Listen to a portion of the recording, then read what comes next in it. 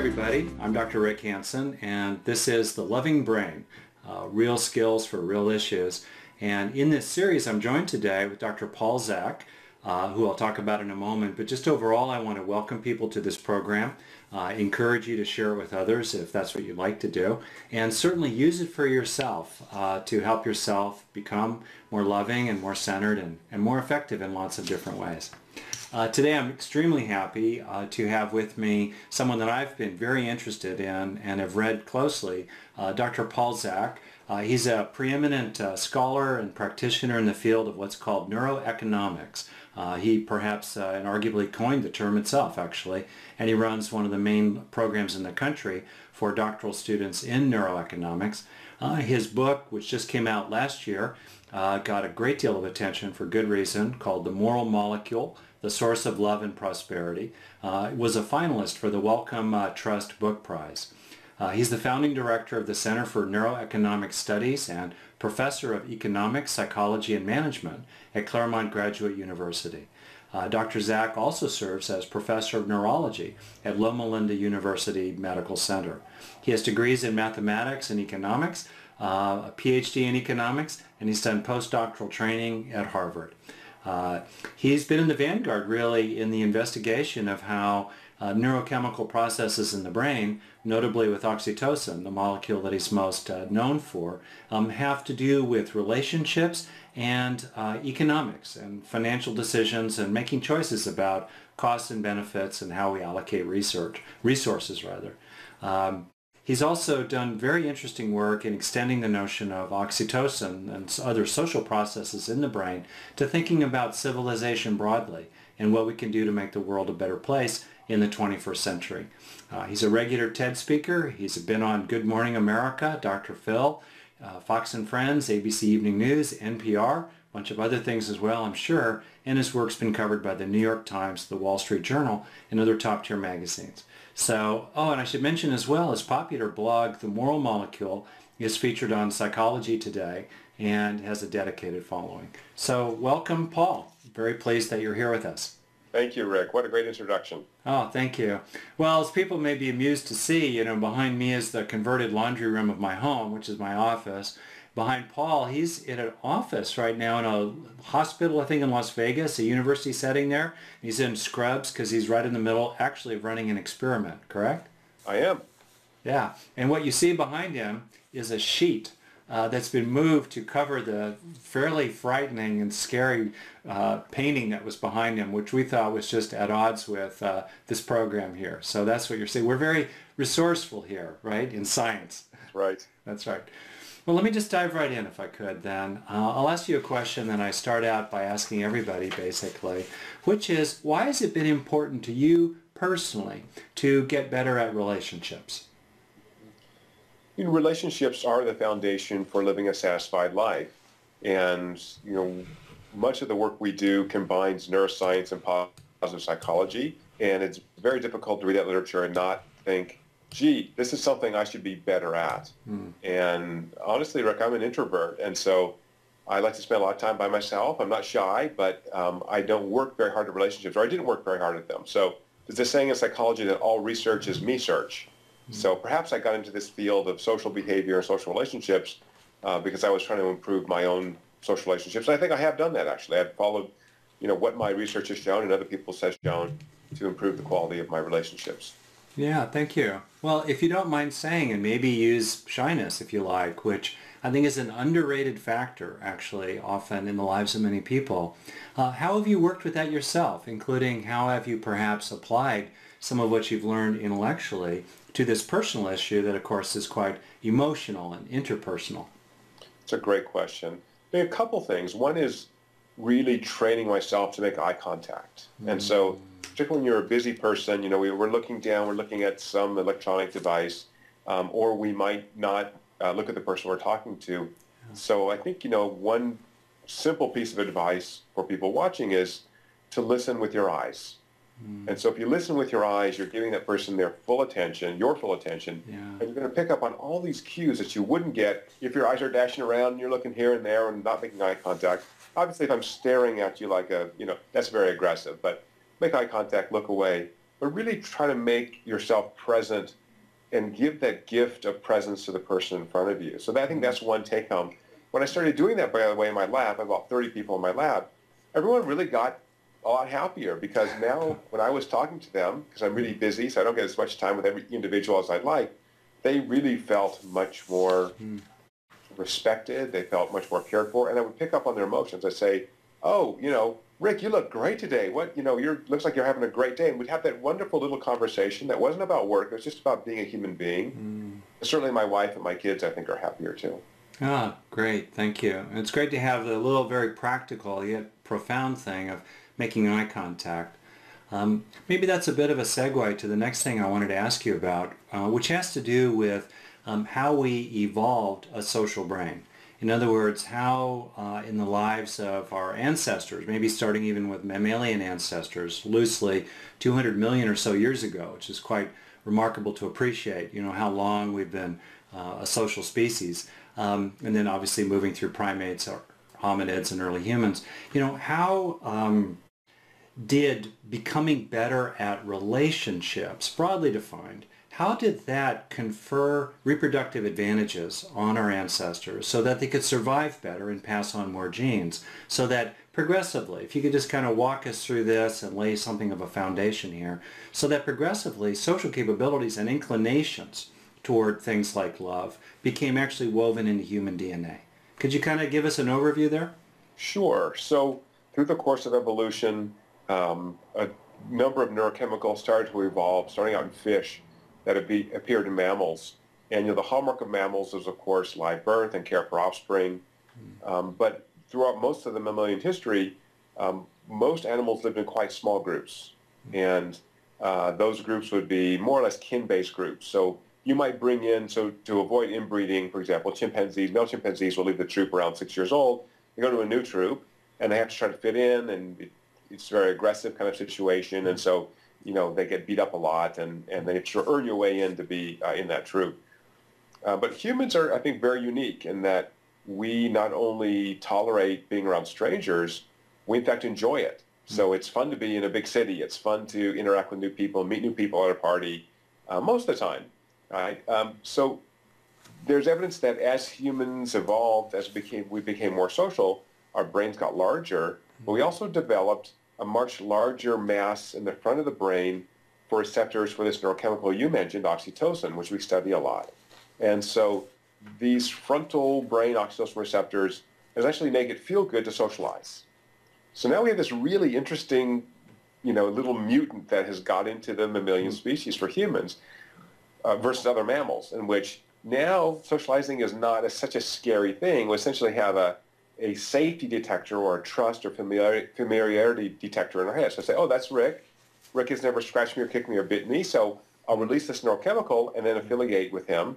And once you have that, you set up this feedback loop in which it's quite valuable, in fact, to interact with others. I might meet friends or people I can work with or trade stuff with or romantic partners.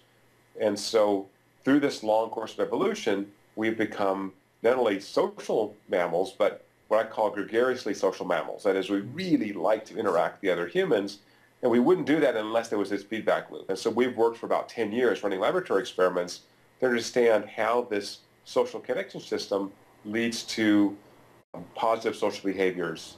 Um, we would call those moral or virtuous behaviors like generosity, compassion, trustworthiness, kindness. So why would you ever be kind to a stranger? Ever? Mm-hmm. Well, lots of different views, for, for example, in economics would say hey, that's just bogus, right? The only reason you would interact with a stranger is because there must be some kind of get, way to get resources, take some money from him or her. Mm-hmm. But, you know, most of the other disciplines realize that there's actually value alone in relationships. And I think one of the unique things about human beings is that we can extract value from relationships with strangers. Mm-hmm. So to do that, we have to have something in our head that says, this person seems okay and safe to be around, and this person doesn't. Mm-hmm. So if we didn't have that very rough, simple indicator in the brain, we wouldn't be able to live in civilizations where we're living and working around strangers all the time. And so oxytocin seems to play an important role in that identification of someone who's safe. So oxytocin modulates the kind of trust-distrust, approach-withdrawal, safety, fear continuum that we're living on when we're mm. moving around the sea of strangers in which we live. That's very interesting. It's kind of like an internal detector of friend or foe, as it were, and like the needle keeps moving. Um, if you could also speak to uh, the ways in which uh, there are other social systems, if you will, in the brain uh, that work alongside oxytocin, uh, empathy circuits, uh, theory of mind capacities. If you could just talk about that a little bit, that would also lay a nice neurological foundation for what we're doing here. Great. So um, what we found in these 10 plus years of experiments is that uh, when someone receives or interacts with another human being in a positive way, so you receive a positive social signal, yeah. for almost any one of those we've looked at, including movie clips, um, trusting someone with your money, uh, being touched in an appropriate way, the brain of the recipient will release oxytocin, and that motivates reciprocal behaviors, so like with like. So you're nice to me, I'm going to be nice to you, that's essentially the golden rule. So we're finding these underlying neurochemical bases for the golden rule, which exists in every culture on the planet. Excuse me. So what oxytocin does is when it's released within about a second of a stimulus, and it activates, as I said, these receptors in the front of the brain, a couple ones near the brainstem, and it modulates this kind of fear, trust continuum. And it does that by um, modulating the release of essentially reward chemicals in the brain through this feedback circuit and those include dopamine and another chemical, serotonin, which, as you know, is associated with mood. So you basically get a mood lift and a little reward when you're someone and they're nice back to you. And so we're setting up this feedback loop. And so I think one of the beautiful things for the work you're doing is that we essentially, when we are loved, we can be more loving. That is, mm. there's a feedback loop in there. And indeed, our work and the work of uh, those who work with animals, our work with humans and animal work suggests that if you don't have a lot of nurturing and care early in life, that this care, nurturing, love, affiliation, empathy circuit starts to break down. Mm. And as adults, individuals may not have uh, the capacity or as, as much capacity to love others because they haven't experienced love. And so the, the reason for that is that your brain is the most expensive real estate in the body. And if brain circuits aren't being utilized for the purpose that they're sort of originally designed, then uh, they redeploy to help that organism survive and reproduce mm. in some other way. Yeah. So, um, so the brain's stingy, and so um, to cap that off, you know, you can't induce your own brain to release oxytocin, or it's actually very difficult. You cannot induce your own brain. Your what again? Release oxytocin. You can only give that gift to others. So it's just like love. You can't force someone to love you, but you can love other people. And often, if they return that love, then you have this nice reciprocal feedback loop going on. And so we see that in our studies of oxytocin, that this is part of that foundation for care, nurturing, love, and empathy. That's a mouthful, isn't it? That's a lot of stuff I put into the... That was good. It was so great. Back one, or tell me well, you got the blue scrubs on, so you get to do that. It's okay. um, well, let me recap if I could a little bit. So we have this 200 million year journey, you know, 6 million years since our last common ancestor with chimpanzees, right? Uh, two and a half million years of stone tool manufacturing ancestors with brains a third our size. And so as the brain evolved on this long run, you're saying that it really helped our ancestors to be able to read friend versus foe and to be able to increasingly modulate their response to strangers, find ways to establish some kind of basic connection with strangers, and then, as you well know, um, you know, develop parent-child bonding, maternal-infant bonding, that's the beginnings of oxytocin right there, and then mate bonding, friendship bonding, and then ultimately the village it takes to raise a child, supported through networks or links, if you will, um, woven together in part through this amazing little neurotransmitter, this little molecule in our brain, and its various transmitter and receptor systems, right? Right. And then we have these very interesting things that happen that when we receive oxytocin stimulating experiences, if you will, or stimuli or, or signals. That's also rewarding. You spoke about dopamine. And it's also uh, soothing or mood supporting. And therefore you also spoke about serotonin. And then you said a very interesting thing at the end that I wanted to follow up on, which is you said that in effect, uh, oxytocin is really a gift. In other words, we can enable others to have an experience of a rich sense of being cared for and comfortable with other people so that we can lower our, our guard. We don't need to bare our fangs, as it were, and we can get along with them. But we cannot self-stimulate it. That was very interesting. And I wondered about that because, of course, uh, many people uh, have experienced that they can deliberately activate certainly an internalized experience of being cared about or included. Like I can think about all kinds of things, my wife, my kids, my friends, our cat. As soon as I do that, I can think about teachers, spiritual teachers. Uh, people ask about this too, who I feel loved by. I can, in other words, I can self-activate the experience of love on the range of it, if you will, from being included or seen at one end all the way through being liked and appreciated and even cherished and loved. So to what extent is it possible, especially people who are grappling with wounds and maybe don't have people in their life who could give them that experience, but at least they can do something for themselves, you know, in terms of self-generating important self-nurturing experiences, such as self-compassion. What do you think about that? That's a great question. So again, this sort of oxytocin research field in terms of its behavioral effects is only about 10 years old. And, um, and as you know, you know we've, we've uh, shared this information, when I first started thinking about this as a modulator of social interactions with humans, one of my colleagues told me it was the world's stupidest idea uh, because it was just known to be associated with birth and breastfeeding. And um, this being oxytocin. This yeah. being oxytocin. So, so the, the honest answer is we don't really know from a neurochemical perspective when someone meditates, when someone prays, when someone uh, reflects on the experience of being loved. Uh, Thinks about their grandmother and the smell of those oatmeal raisin cookies. So there's there's some evidence that we've got coming out on recent research looking at different forms of meditation and prayer, and we have found that uh, both alone and in groups, um, meditation and prayer do induce the release of oxytocin in a majority of people, not in everybody. Mm. Um, we've done this also in churches. Uh, I was in the rainforest of Papua New Guinea two years ago, uh, looking at indigenous peoples and their uh, rituals. Um, but as a punchline, we found that among the most powerful uh, kind of self-stimulus for oxytocin release is a form of meditation called loving kindness meditation mm. or metta meditation. Yeah. And it's a kind of meditation that you know very well in which you focus on loving people not only close to you but far from you and even complete strangers. Um, and so we find oxytocin release but also strong behavioral effects. People were more altruistic when they did this. And we're still analyzing this data, so I don't want to, you know, um, uh, claim that something's there until we really have nailed it. But we've also done functional brain imaging on these individuals who had never uh, done this kind of meditation before. Mm. We've also found that meditating or praying in a group is an effective way to raise oxytocin. So uh, near me in Claremont, there is a very famous uh, Zen Buddhist monastery called the Mount Baldy Zen Center. Yeah. And um, I was visiting there some years ago. I met these Buddhist monks who were just amazingly present and joyful. Mm.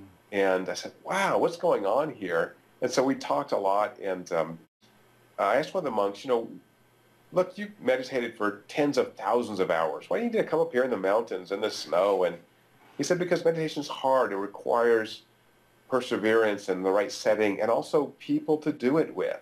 Mm-hmm. And those people are very encouraging. So yeah. um, I think one of the take-home research from the take-home messages from the research I've done on oxytocin is that we are intensely social creatures mm. And we need to be embedded in community. And it's mm. community that gives us both happiness, a positive mood, and the opportunity to express moral behaviors. That's a beautiful answer, and I, I, respect the fact that this research is preliminary, but that said, in, in this informal context, it's really quite exciting, really, that your findings, uh, whether it's in terms of neuroimaging or, you know, oxytocin levels in the blood or other forms of, you know, estimating brain levels of oxytocin, um, that you're actually finding that it's plausible and there's preliminary evidence that people can, in fact, do various practices that coincident with an internal experience of becoming more loving or more compassionate or taking joy in the good fortune of others, etc., that in parallel with that, there is apparently a rise in this underlying physical process, these currents of this particular molecule and it, the activation of its you know, related circuits in the brain. Like, that's really, really cool. So I have a question for you now.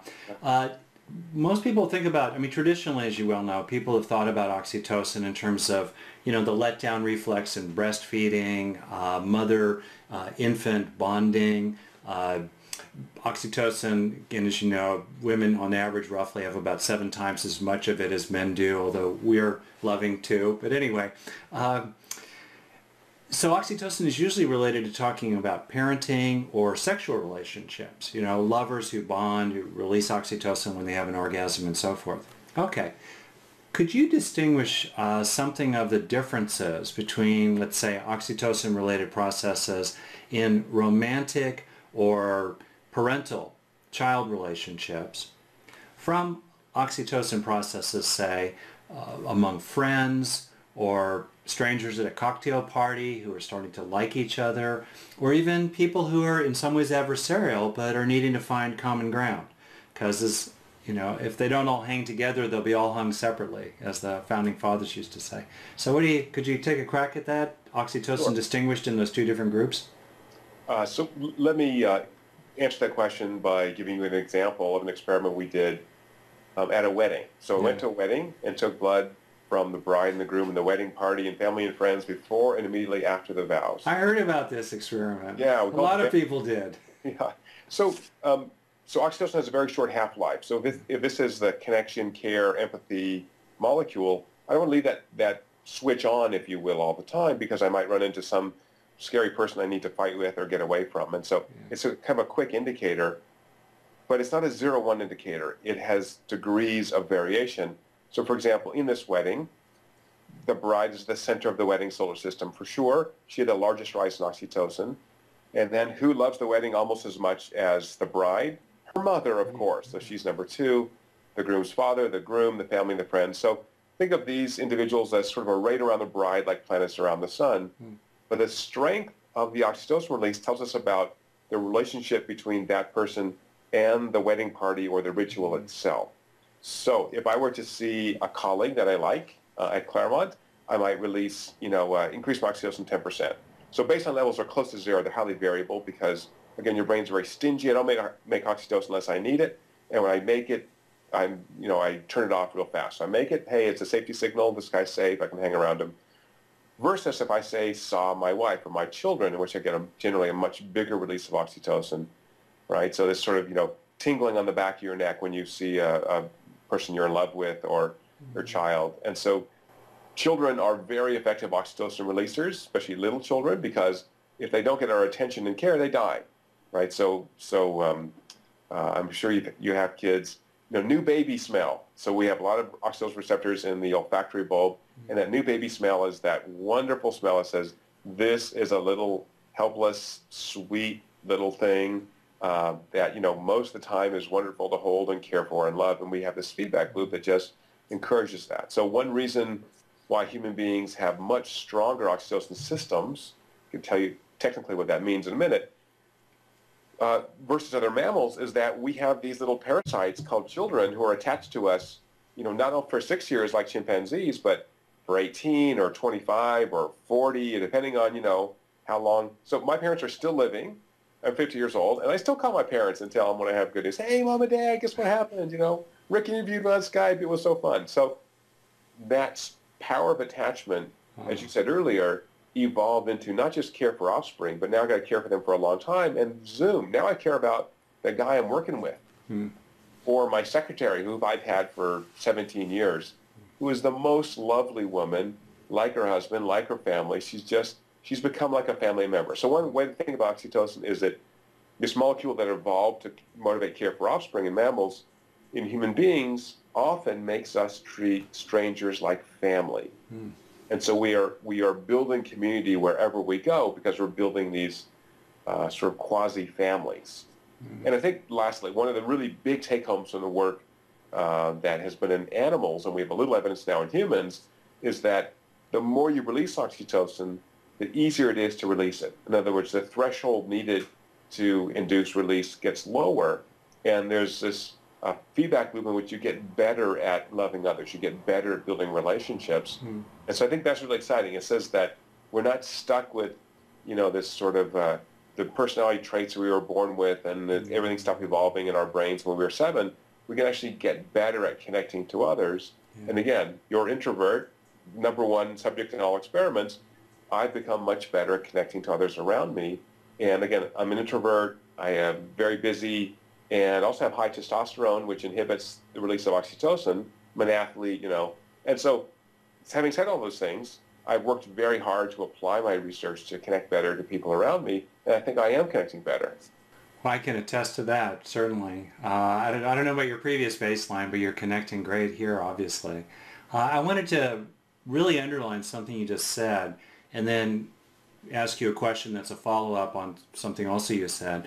Um, as we know, people can clearly have a brain that can become sensitized to the negative. Uh, people can become increasingly combative and fearful and aggressive and hateful, uh, if you will, anti-oxytocin uh, with other people. If metta is the traditional word for loving kindness in the language of early Buddhism.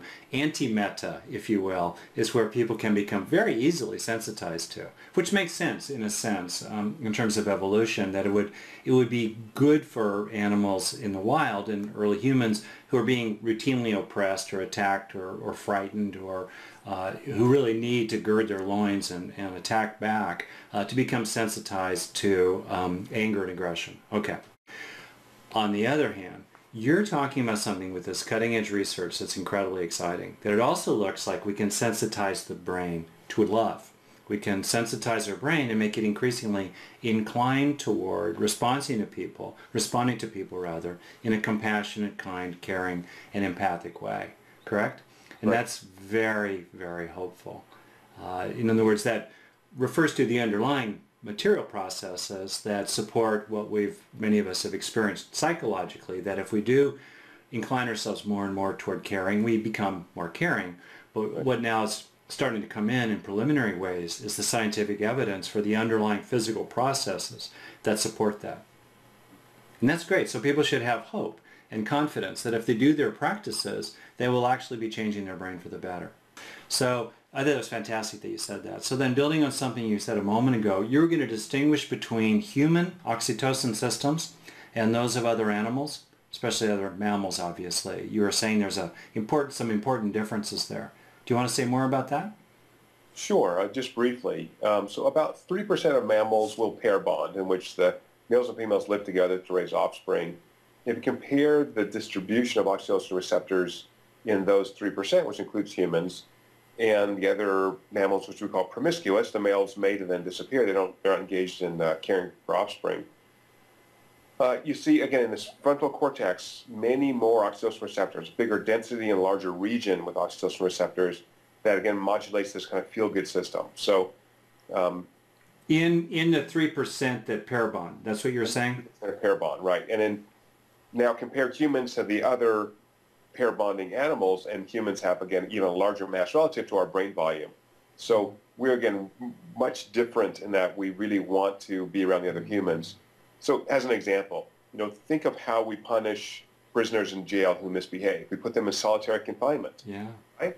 It's physiologically and psychologically stressful. People will actually hallucinate very rapidly in solitary confinement because we're just not made to be by ourselves. We don't like it. It's not good for us. And so if you reverse that logic now, what do I need to be happy, healthy? I need to be connected. And I should say that for people who are, as you said, who are uh, suffering, who feel disconnected, we've actually done some small-scale experiments looking at the use of social media. Uh, so just like we're talking, and we've shown that uh, in about a dozen people we've measured so far, 100% of them release oxytocin when they use social media, not just Skype like we're doing here, but including texting, tweeting. And so from the brain's perspective, it looks like any connection is a good connection. And the mm-hmm. more you connect, probably the more you can connect. Yeah, that's great. So now I'm going to ask you, because I've got you here in a good way, um, a little bit of a technical question, but it has very important implications. So as you well know, uh, neurons fire and they release neurotransmitter molecules from their sending tips. That's a very common form of neuronal behavior and transmission. Uh, but many neurons also uh, release uh, in a more ongoing kind of steady state way, less of a phasic firing way, but more of what's called tonic release of neurotransmitter molecules, especially little skinny ones, the peptides like oxytocin, from the cell body or elsewhere in the cell, but in an ongoing way that's kind of released throughout the brain as a whole, which could in principle just separate from the activation or deactivation of various circuits. Uh, as you say, oxytocin itself has a fairly brief half-life.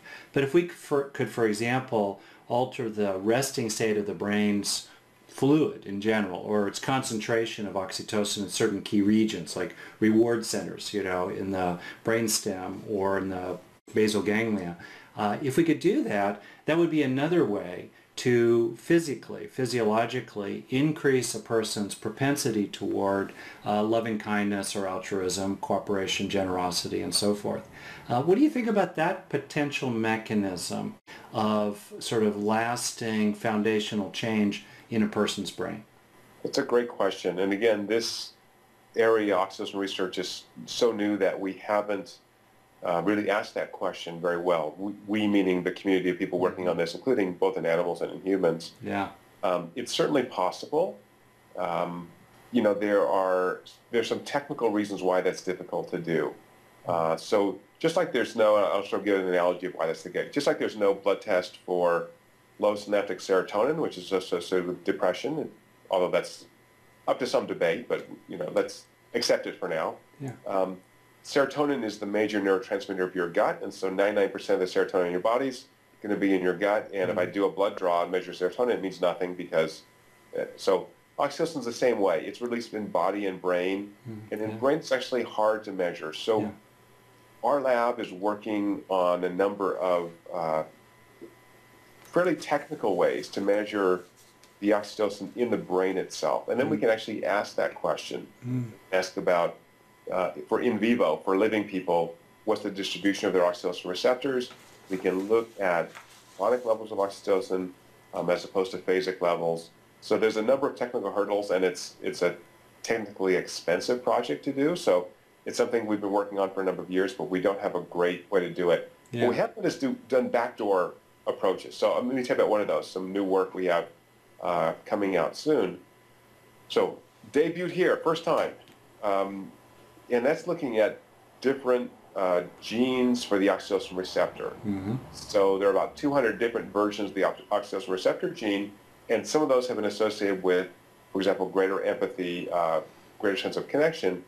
And so we did some experiments to look at whether those, and those are based on self-report. So I'm a really empathic person. Yeah. In fact, we find people who rate high on survey measures of uh, personality traits for empathy do release more oxytocin uh, for the same stimulus as people who um, you know have, are lower on empathy scales.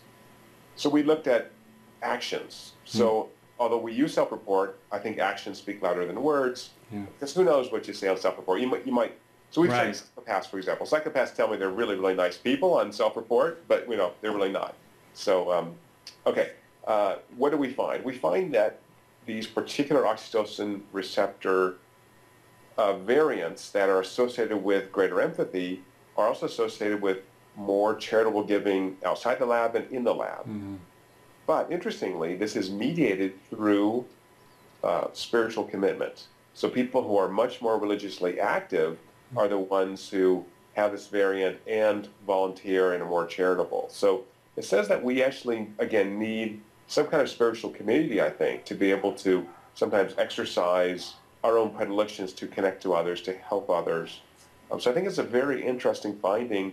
And, you know, when I've just said that, you said, well, that makes perfect sense. Everybody knew that. Yeah, but now we have this hmm. interesting biochemical pathway hmm. which can be turned off and can be turned on. Yeah. Uh, you know, these, these basic genes are there, but of course genes are switching on and off all the time. So I think from the perspective of viewers is to work on activating these mechanisms in your brain um, and because, again, the brain's such a stingy organism, the more you do something, more it likes to do something. It, gets, it says, oh, apparently this is what I'm doing now. So um, for this same kind of stimulus, say interacting with a stranger, I can bias myself towards being uh, more caring, more affiliative, more loving, if you will. Yeah. Thank you. Well, just kind of a quick recap then. It sounds like this mechanism of action that I was talking about, uh, the technical word for the geeks like me in the audience is paracrine, this ongoing release of these tiny little molecules from the body of the cell that's not specific to a momentary activation. Anyway, it could be a plausible underlying mechanism of action for helping a person become ever more loving. Uh, more broadly, though, what you're saying is that the more we do it, the more we're inclined in that direction, the more rewarding it feels. So this obviously leads to two questions. Uh, the first is that if you want to get more of the good stuff, one way to do that is to have less of the bad stuff. So what's the bad stuff, as it were, that inhibits oxytocin processes? Great question. And so there's two major ones we found, um, and maybe I'll add a third. So one is, I mentioned already, high levels of testosterone. So Rick, you and I can attest to viewers that the least empathic people on the planet are teenage boys because we both used to be them.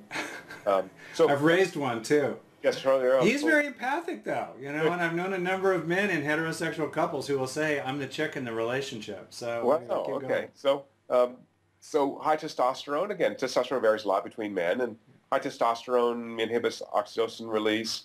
And we could tell an evolutionary story on why it's appropriate for young males to be more aggressive and risk taking. But anyway, as we age, it, it modulates. As our we're in a committed relationship, our testosterone goes down. When we have children, it goes down. So nature helps us keep these balances. Um, the second, which everyone knows from experience, is high levels of stress. So when I'm stressed out, when you're stressed out, I'm not the nicest person. I grump at people. I'm not as, you know, uh, patient. And so, um, and so we know that. So what do you have to do the next day? You have to go into your spouse, your colleague, and go, hey, Rick, I was a real jerk to you yesterday. I'm sorry. I was having a bad day, and I realize now that I sort of took it out on you, and uh, you know, I hope you'll forgive me. So, again, understanding that if I see someone who's grumping at me, doesn't necessarily mean they're a bad person. It could be that they're having a bad day because this stress puts our brains in survival mode. It's all about me getting through the next 10 minutes, yeah. not me reaching out and helping other people. And the last thing I should say, since we're talking about patients, is we've done work on people who have been severely sexually abused, women, mm. and uh, as children they were sexually abused, and um, about half of them don't seem to release oxytocin on stimulus, and they all have very impaired social behaviors, like comorbid depression. Uh, and in fact, and we did a lot of work on, over several years. We imaged their brains and measured their genes and measured oxytocin. And uh, one woman who was 21 actually uh, committed suicide during the waves of our study, uh, very sadly. So, um, you know, abuse, again, doesn't let this brain circuit that helps us connect and feel empathy develop properly. And, um, uh, you know, severe abuse can really inhibit those abilities. We said that, we looked at control uh, samples of college-age women. Turns out about half of women, by the time they finish college, will report having been sexually abused. So the ones in college had, uh, by and large, uh, much less sexual abuse than the these women who had been, you know, as children raped repeatedly or whatever, very bad outcomes. And, and all abuse is bad. Let's agree on that. But for uh, less frequent abuse, um, these women had intact oxytocin system. So it looks like you need a lot of abuse to really shut down this social connection system. But for individuals who may have suffered through abuse or neglect, or abandonment, we really don't know how much you can restart this system. So as you know, this basic research has stimulated a lot of clinical trials now of oxytocin replacement therapy for people with social anxiety and depression um, schizophrenia, autism, and so far those studies show only very mild improvements in some of the social deficits of these disorders. Let me interrupt you, Paul. You're talking, when you say oxytocin replacement therapy, you're talking about uh, pharmacologically, right? Correct. Yeah, just to be clear here, you're not talking about people doing intensive self-compassion practice or something like that. That's right. Yeah. Although, again, that could be an alternative and perhaps even um, you know, parallel things you may be important to. But I, I don't, you know, just replacing us is going to solve Yeah. Um, well, first, obviously, I mean, just it's haunting for me at many levels, including having a daughter who's 22, uh, to just kind of feel the weight of what you're saying. Uh, I do want to come back to the critical question of how do we rehabilitate, let's say, our capacities for oxytocin uh, or related social feelings and behaviors. How do we rehabilitate those if we've been traumatized? Or frankly, how do we rehabilitate them if we're caught up in stress or aggressiveness, you know, high testosterone? Or uh, another one I, I thought you might have been about to say is fear. Uh, I think some people, when they're afraid, they, they want to move very quickly to, into relationship, but it often comes from a kind of needy, desperate, protect me, protect me place, which is understandable, of course. But and I think about the uh, capacity to give love. It's it's hard to give love when we're frightened ourselves. Uh, and yet there's so many things in the world that frighten us and we're very vulnerable to fear. So how do we love through the fear? You know, you know, right? The classic line, love is letting go of fear. So maybe you can talk about that. But so actually let's just do this. How can people uh, help themselves? Uh, sounds like so far there's no magic pill. Uh, it may be around the corner, but not yet. How can people help themselves with both internal mental practices as well as maybe doing what they can uh, in their relationships to nudge them into a better direction. What can people actually do, especially if they've been wounded or even traumatized uh, as children or as adults? It's a great question, and I don't think I have all the answers. I can just take a, a small slice on that. Um, the first is that these brain mechanisms are very evolutionarily old, so they're not generally open to conscious awareness. The first thing is to be conscious of what you're feeling, mm-hmm. right? And if you feel anxious in a relationship, if you feel fearful, um, one is just to own that emotion first and make mm-hmm. sure that you you understand it. Um, because again, this stingy brain doesn't go, um, hey, guess what? This person's not very good for you. You just have a kind of a funny feeling, and so you've got to spend some time reflecting and trying to understand that. Mm. And, and that's honestly where um, you know someone trained uh, like yourself is important to help people kind of work through those difficulties. Um, the second is to find community. So um, one of the great uh, predictors, perhaps the strongest predictor for resilience against, uh, you know, terrible outcomes, you know, abuse, neglect, abandonment, PTSD, social support. And so in our sexually abused uh, uh, female sample, those who had social support were much more likely mm. actually have good life outcomes than people who were more isolated. So, mm. um, so the second thing would be build community around yourself, and that may be joining um, a group of survivors of abuse. It may be joining um, a self-help group, uh, or it may be again using a, a, professional therapist to help understand those issues. And the third is to uh, build up rituals that will help you. So um, we've done a lot of work recently. In fact, we're doing one today. The experiment I'm at here, mm.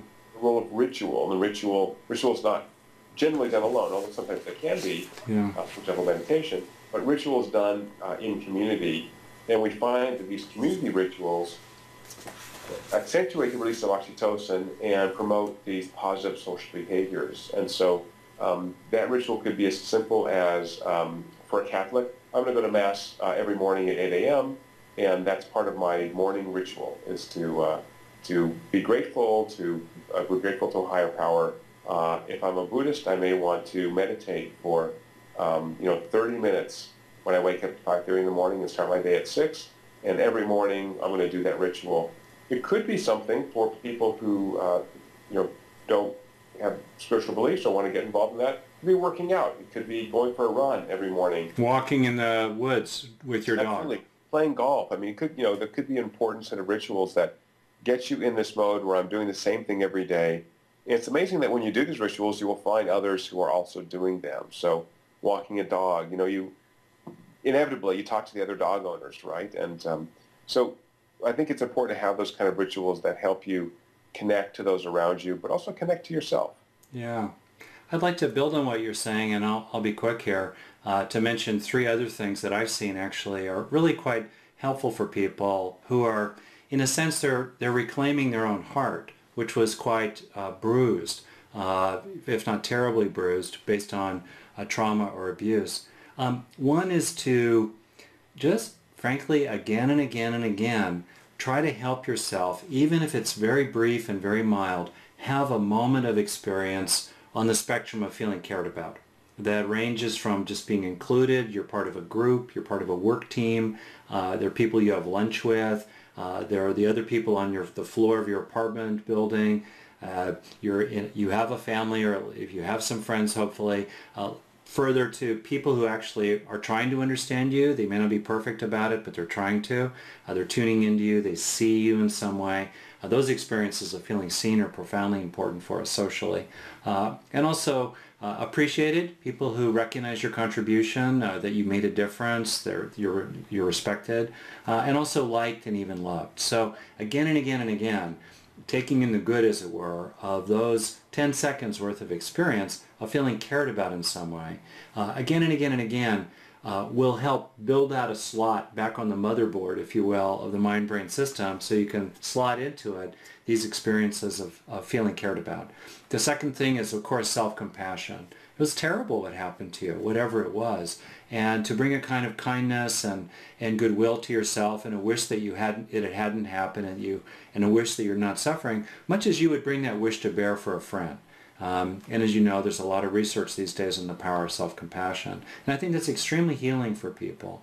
And then the third thing, I think is very important, is to appreciate that deep down inside, you're still intact. Deep down inside, as you and I have been talking about, you very eloquently, we are we evolved to love and be loved. We know what that's like. That's deep in our bones. That's woven radically throughout the brain and the, and the whole body system. And um, you can have faith no matter what terrible events happen that you're not fundamentally, you may be injured, but you're not broken. And you really can rehabilitate your capacity to love and to have faith in that.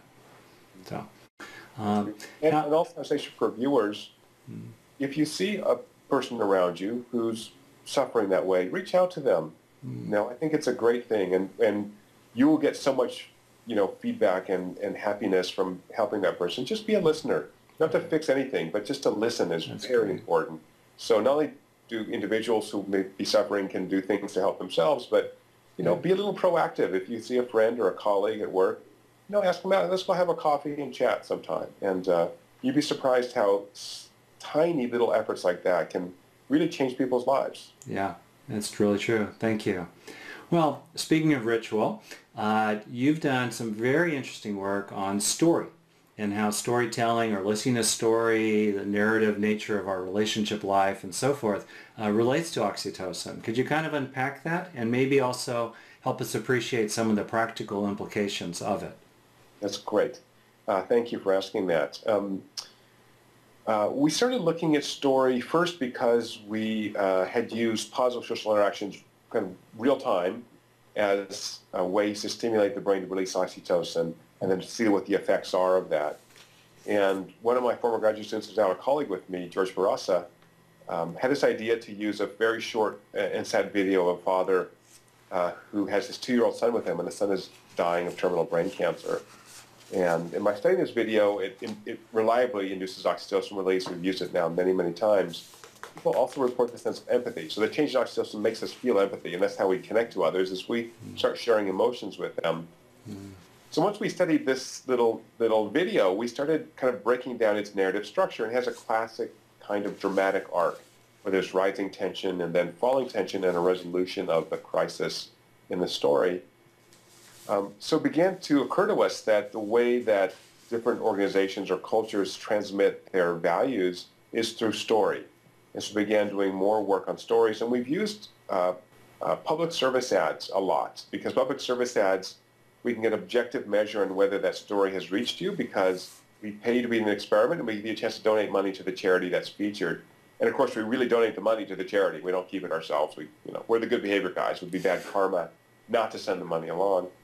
And indeed, we found that um, effective stories induce the release of oxytocin, and there's a couple other interesting things going on. You have to capture someone's attention first. And anyway, so we've been characterizing these stories, and they have real impact. And again, we're in experiments where we're taking your blood or we're putting a drug up your nose, which is uncomfortable.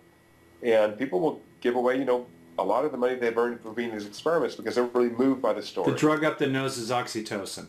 Is oxytocin, right. And so, for example, in the study we published just a couple of weeks ago, we gave individuals oxytocin compared to those who got placebo, uh, donated about 50% uh, more money to ads than, uh, than the others. And so oxytocin really connects us to others. In this case, connects us to the characters in the story. Now, why is that relevant?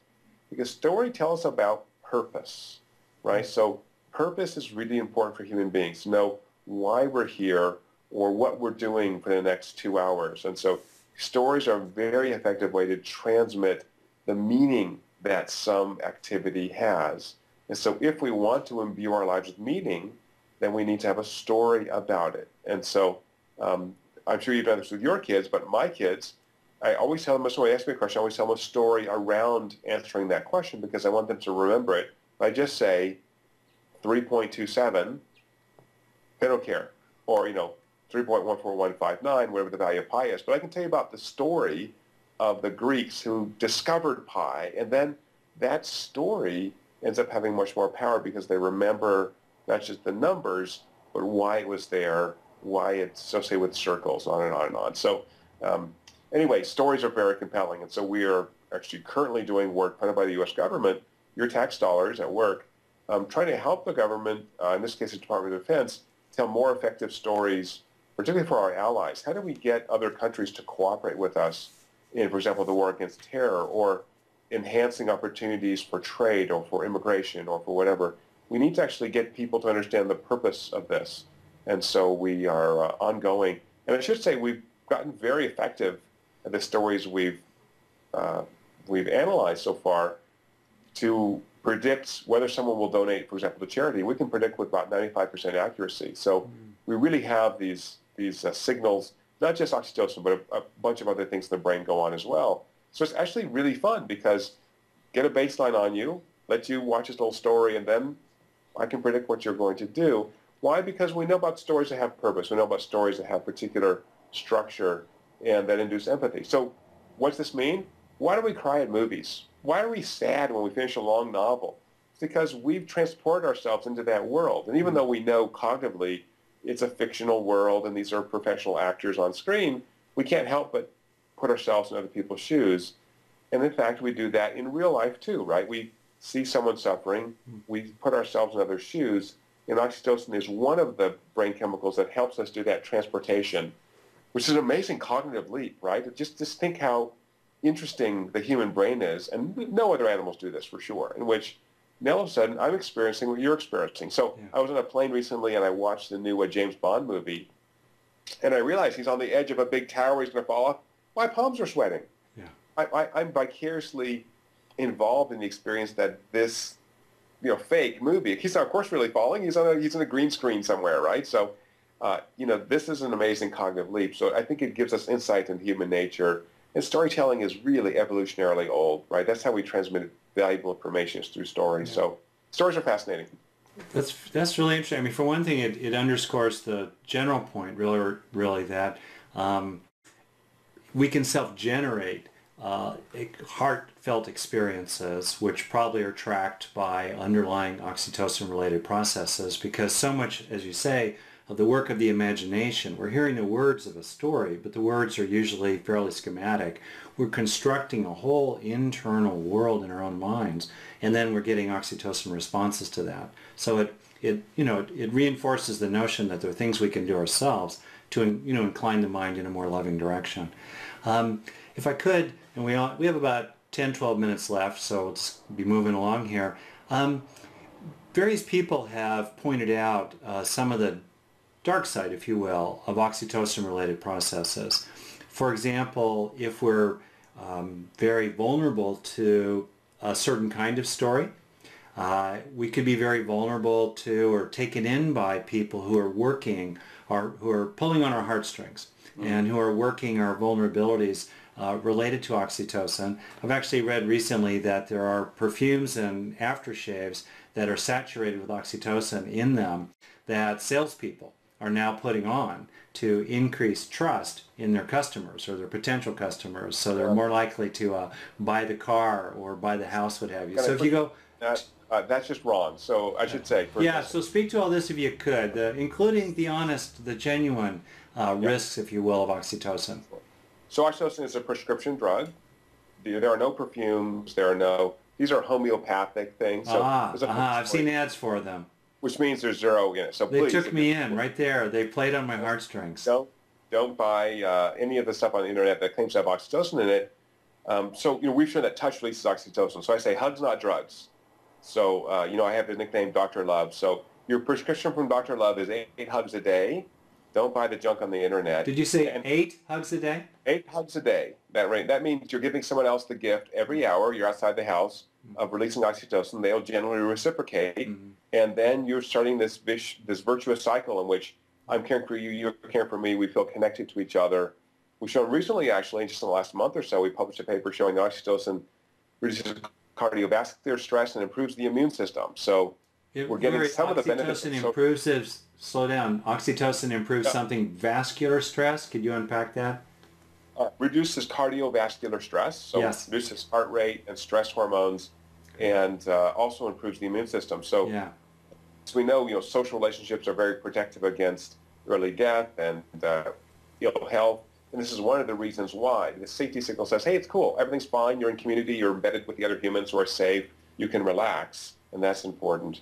Um, so anyway, the thing on these uh, internet uh, products um, claiming to have oxytocin is we published kind of three, kind of, you know, the sort of groundbreaking papers on oxytocin were all published in 2005 lots of media attention and uh, this and that. And so inevitably, three months after these papers came out, you know, these products come on the internet. And so um, anyway, they're very expensive ethyl alcohol. So if you want to spend, you know, 40 bucks to buy um, rubbing alcohol, that's what you're going to get. Okay, Right. dark side. Um, so we've done many, many tests in which we, we uh, either have people's brains release their own oxytocin or give them, pharmacologically give them synthetic oxytocin. People are still cognitively intact.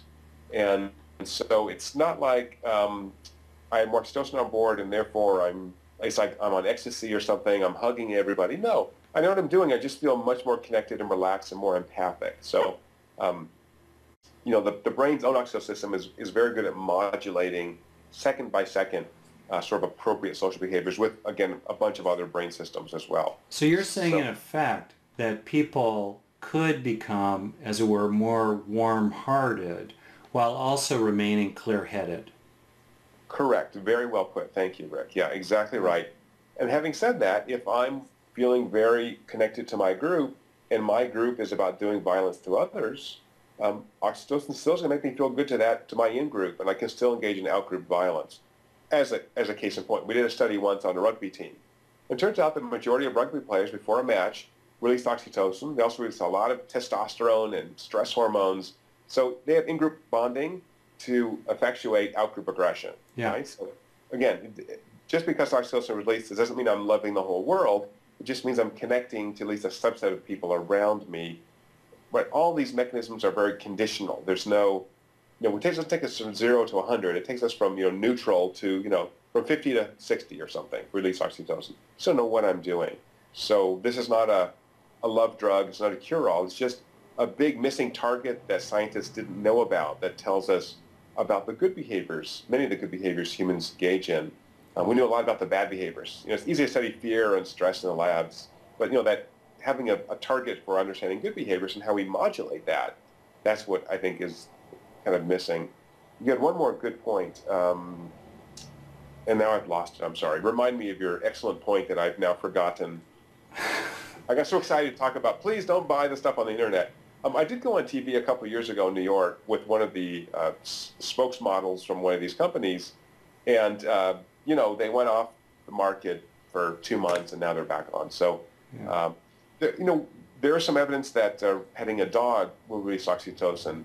Um, my lab hasn't been able to replicate that. We tried.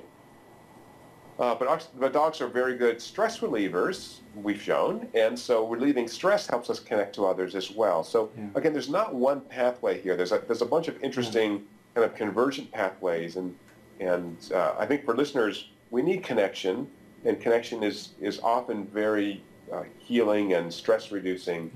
Yeah. And so if we work on building those connections, we're going to be healthier and happier for the most part. I think there are a lot of people, um, and you see them in distressed relationships, but also in general, who are concerned that if they open into love, as it were, and they, they let themselves become more warm-hearted, more compassionate, more generous, kinder, more empathic, if they let the other person's viewpoint uh, land more over here, etc., that if they do those things, they open themselves up to being taken advantage of or abused, especially if, as you say, when they were young, they were significant violations of trust, maybe not even necessarily catastrophic ones, as in sexual molestation, um, but still, they're they're concerned about that. So appreciating that, you can simultaneously become more compassionate. You can become kinder. Uh, you can become uh, more understanding of other people, while simultaneously taking care of yourself and preserving your own interests and standing up for your own needs and speaking truth to power and all the rest of that. That then paradoxically can let people become more open.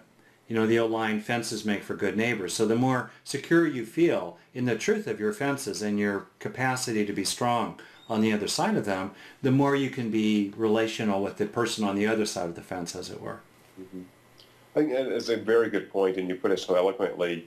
And I think that I'd just like to add one little thing, if I can, that you know there is this small proportion of the population, about two percent, who are psychopathic, and they tend to be very good at manipulating the oxytocin system. So mm-hmm. um, I'll, I'll tell you about the science of that in a minute, but just as a sort of side note, mm-hmm. um, the reason I, I wanted to become a behavioral scientist was when I was 18 years old, I worked at a gas station, and I was conned out of $100, which I took out of the cash drawer. I didn't have 100 bucks. I was 18. And so, um, and, and you know, when you work at a gas station for a year, you observe at night, you observe, you know, all the humans and every facet of their behaviors. And so anyway, this was a really classic con that got me. And uh, in many of these classic cons, this is exactly what psychopaths do, it's not that the con works because the victim trusts the, the con man. It's the opposite. The con man shows he trusts the victim. Right? I'm weak. I need your help. I don't know what to do. My car's broken down. Oh, and I know you're a good person. You can help me and boom, that induces in the receiver the oxytocin, and you want to reciprocate. Oh, this poor person needs my help. And normally when mm-hmm. people need our help, they really need our help, and our brain systems help us engage mm-hmm. in that. So again, this 2% of the population make up between 25 and 40% of the U.S. prison population, depending on how you measure psychopathology. Mm-hmm. So these individuals are dangerous. And so for the most part, 95% of people, the now hundreds of people we've measured, thousands of people, I'm sure, all around the globe, again, from, from the rainforest of Papua New Guinea to, uh, you know, every country I can get myself into, a positive social interaction will release oxytocin in 95% of these people, but 5% don't. So three of those 5% are the really stressed out, I just can't get it, I'm, you know, having a bad day. But the 2% are these psychopaths. And they're, they have very unstable relationships. They don't sustain relationships long. They don't have dogs. Psychopaths don't have dogs because dogs are very needy. They need to be cared for, and they just they can't do that. It's not about surviving. They so, torture dogs, but anyway, yeah. Yeah. yeah. And so, anyway, these individuals, you know, you need to avoid. And so even yeah. though they try to string you along, you know, it, I, as you said, you need to have this sort of secure base where you can say, yeah, it's not. There's things I'm not going to do. I'm just I, that's not yeah. comfortable for me, and I don't want to go there. And understanding what those boundaries are internally, gee, it takes a long time, doesn't it? I think it. Uh, I think you've got to be probably either really great insight or maybe in your 30s before I think you really get a good view of that for most people I know, certainly for me. Um, it takes a while. And so um, anyway, I encourage people to go on that interesting journey. Yeah, I, I think that I don't actually know if it takes a long time to discern what's kind of happening with the other person. And I think there are a couple of very critical turning points in a relationship that are very revealing. And, and that has to do with what does the other person do when you attempt to repair? Mm. Do they block your attempts to repair? Do they punish you for attempting to repair? Uh, when you talk about their part of the matter, even as you sincerely are willing to take responsibility of your own, do they throw the uh, throw it back in your face? Um, you know, I'm a nice guy and all the rest of that, but trust but verify, right? And when you see someone, especially three strikes, you know, if you make three reasonably skillful, reasonably virtuous, you know, civil, uh, not grossly inflammatory efforts to sort of repair something with them, and they just blow off the repair process itself. Uh, that's kind of a clue that probably the relationship, alas, needs to shrink to the size that it's safe. Uh, the, and that size may be really small. Right. Well, anyway, uh, moving to a wrap here, I want to ask you two final questions. If I so, so Paul, uh, if you don't mind saying, uh, you're someone who obviously has done a lot of inner work. You've you know you've practiced what you've preached here in terms of relationships. Still, we all have a growing edge. Um, what's your growing edge these days in relationship? Uh, what are you working on, and how are you helping yourself in that regard? Uh, that's a great question. I really think I still struggle with taking another person's perspective. And it's just awfully hard, particularly for people that you're around all the time, your love, your spouse, to not be annoyed by the little things that kind of drive you nuts mm. and sort of see things from their perspective. Um, I have found that having a sense of humor is really valuable. Uh, just, you know, not taking things so seriously. Um, you know, so you forgot to trash out or didn't wash the dishes. It's really not the end of the world. And even though that personally drives me nuts because I really love neatness and perfection, um, I, I think working hard internally, working hard on this is not a big deal, right? This person I love. This person I care about. Um, you know, letting things go. And, we, and for some reason, I think we let things go with our friends much more than with our family members. Yeah. Um, you know, like, friends are like, oh. so, uh, you know, I think I'm sort of skeptical of having your spouse be your best friend, but kind of working on that, really seeing this person as a friend as well as a romantic partner and life partner. Mm. Um, anyway, so uh, we continue to do work on, um, on meditation as well. Uh, in fact, May 4th in Claremont, we are doing a experiment on mass meditation. So we're going to see if uh, 10 minutes of instruction and a couple hundred people together will have a uh, mass effect. So, you know, I'm a very cheap guy, you know, because I, you know, I was trained as an economist, and so uh, I always want to get the biggest bang for my buck. So I think, yeah.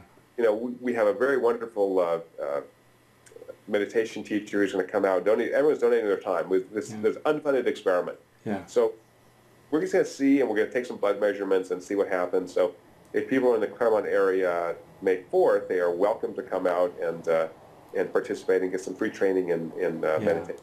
Now I should say uh, May 4th, 2013 will be after, unfortunately, uh, when this series is, becomes available to people, especially archived.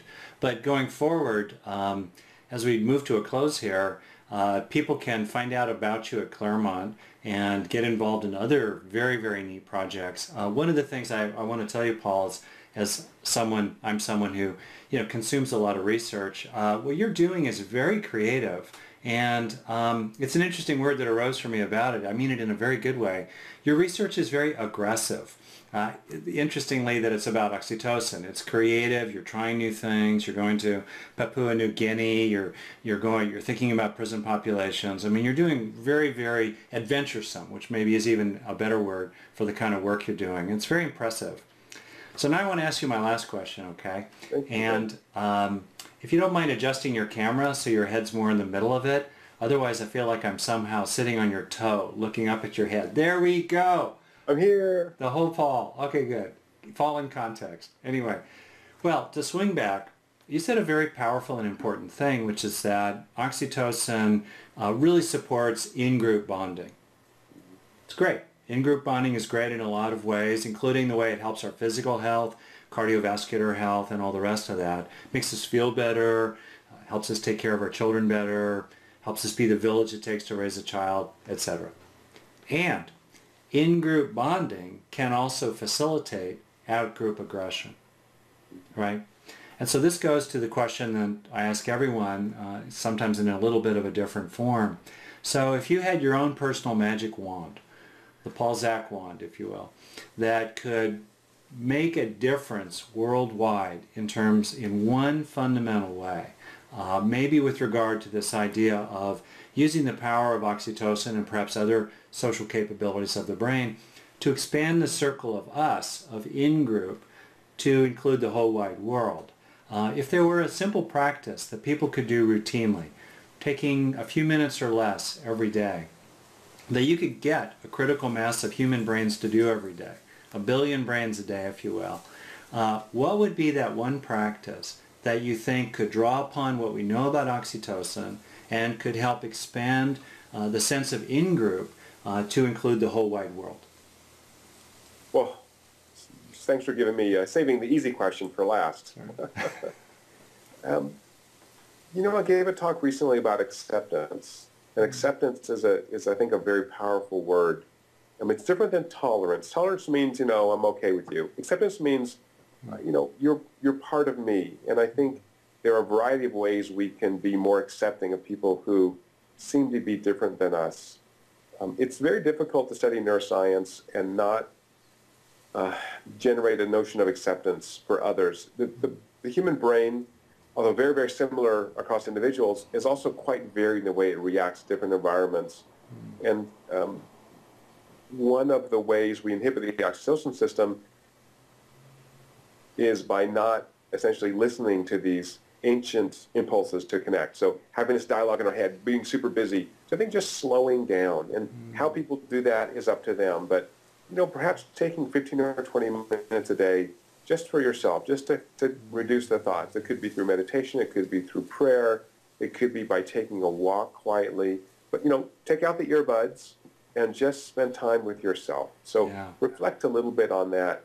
And we do find that individuals who can take that reflection time are more accepting. So um, do yourself and the people around you the honor of taking time to accept others. Mm. That's great. And what's also beautiful is that that's within our power. Uh, we can do that ourselves, even as we may not accept their behavior toward us. We may take action about it, perhaps, but we can still work on um, seeing their seeing their suffering and accepting them too. Right.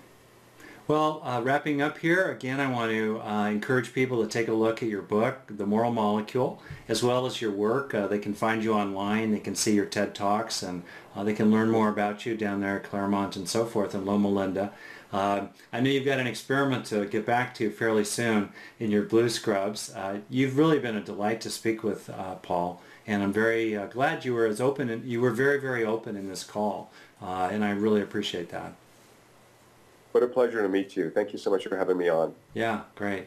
All right, take care and welcome everybody uh, who's uh, seen this show or this hour here. And greetings and glad you were with us. And uh, check out uh, other uh, episodes, as it were, of this series on the loving brain. Take care till next time.